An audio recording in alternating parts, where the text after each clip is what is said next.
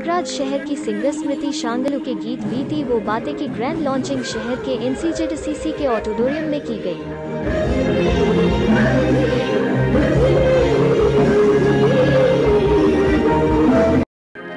इसके लिए बाकायदा एक रॉक शो का आयोजन किया गया कार्यक्रम का आगाज़ रॉक शो के साथ किया गया जी हाँ मेरा एल्बम लॉन्च हुआ है वो बातें। आज यहाँ पे मुख्य अतिथि के रूप में अ, सांसद केसरी देवी पटेल जी आई हुई हैं और उनके द्वारा और अभिलाषा गुप्ता नंदी जी हमारी विशि- विशिष्ट अतिथि हैं।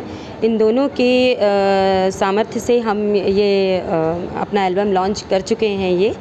और प्रयागराज मेरा घर है तो मुझे लगता है कि यहाँ के लोगों से मुझे और मेरे इस एल्बम को बहुत प्यार मिलेगा।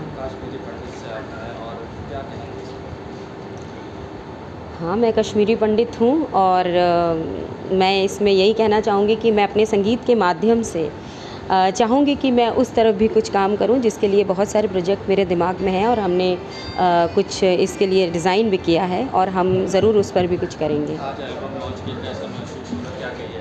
बहुत खुशी हो रही है। सबसे बड़ी खुशी ये है कि ये मेरी ही धरती प्रयागराज में लॉन्च हो रहा है। हमने इसको इसीलिए चुना है क्योंकि यहाँ के लोग, लोगों का प्यार मुझे मिले। यहाँ के जो मेरे जानने वाले हैं, मेरे शुभचिंतक हैं, जब उनके सामने ये एल्बम लॉन्च हुआ तो मुझे बहुत खुशी महसूस हुई और मुझे लगता है कि उनको भी मुझे इस तरह से देख के बहुत खुशी महसूस हुई होगी। रॉक शो के बीच में ही सिंगर स्मृति सांगलू के नए गीत, वो बातें की लॉन्चिंग की गई। स्मृति सांगलू की प्रस्तुति देखकर वहाँ मौजूद संगीत प्रेमी झूम उठे।